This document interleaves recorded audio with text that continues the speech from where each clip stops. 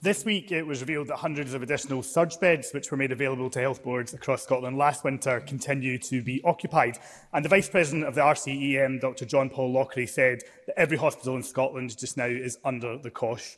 This shortage is a direct consequence of the Scottish Government's own actions. Our hospitals have 4,000 fewer beds compared with 2010, and we know who served as Health Secretary in that period. It is simply unacceptable. We cannot normalise our NHS being in a perpetual state of crisis.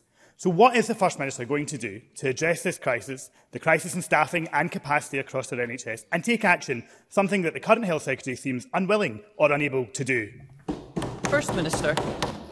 Well, most recent Public Health Scotland's uh, annual figures show, in fact, that average staffed acute beds uh, have actually increased uh, compared to the previous uh, year. We also have uh, more beds per head of population uh, than England uh, does. Uh, there is huge pressure on our National Health Service, but we continue uh, to support it through investment, through recruitment and through work uh, with the National Health Service. Uh, to hear a Labour member, though, talk about bed reductions in the National Health Service is a bit galling.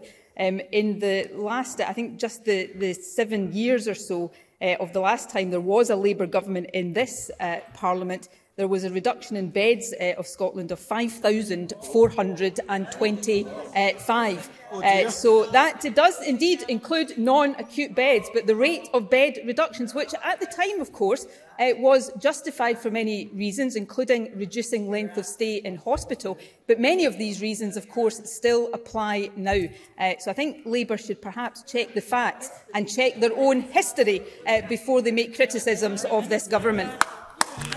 Ah, ¿y a pues no.